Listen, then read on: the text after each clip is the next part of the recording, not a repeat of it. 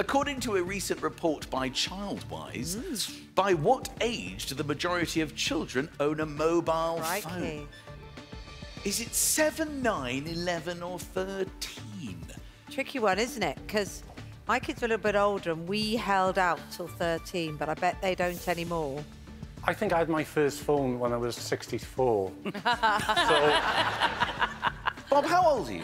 70. You're 70 years old. Yes, yeah. Wow, You look Bob. incredible. I look good, don't I? Yes. Amazing. Uh, thank you, yeah.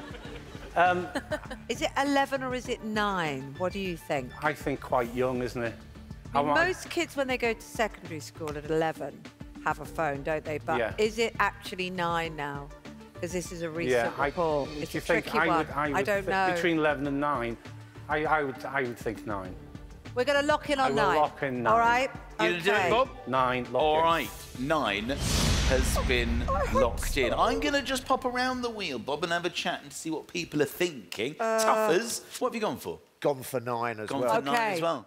Pembers? I remember reading a newspaper report quite recently. Oh. A uh, recent report, it says Oh, you've read potentially this I, very report. I might have read this very report, and I've actually gone seven. I, I think No. it's. I'm sorry, guys. Me too. Oh, I've gone my seven. You I've might be seven. right. You might be I right. didn't know I've that seven. you were going to be swatting up on Yeah. recent reports. Oh, right.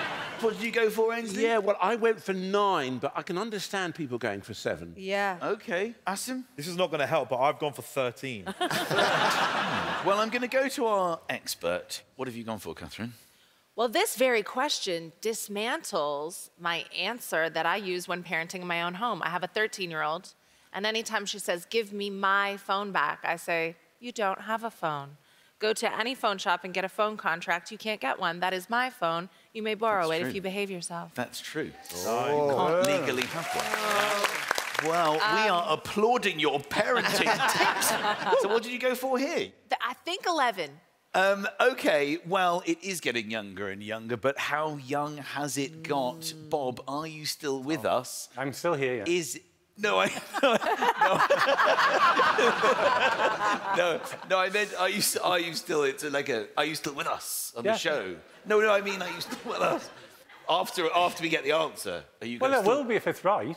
No, I know. That, that's why I'm putting that jeopardy into the air. I'm like, Bob, are you still with us? It's like I'm just thrusting into the future to see whether you'll still be here. So the viewers are excited by it. Are you still with us? It wasn't like a literal question, and you're like, this guy's insane. He keeps wondering if I'm still here, and I'm literally sitting in Well, it might front of not be in a minute. No, I know. That's exactly the point I was making, Okay, Bob. Okay. So, Bob, are you going to be still with us after we find out the answer, or are you going to go back down to the contestant wheel and therefore no longer be with us? Is it nine? Good luck, Bob.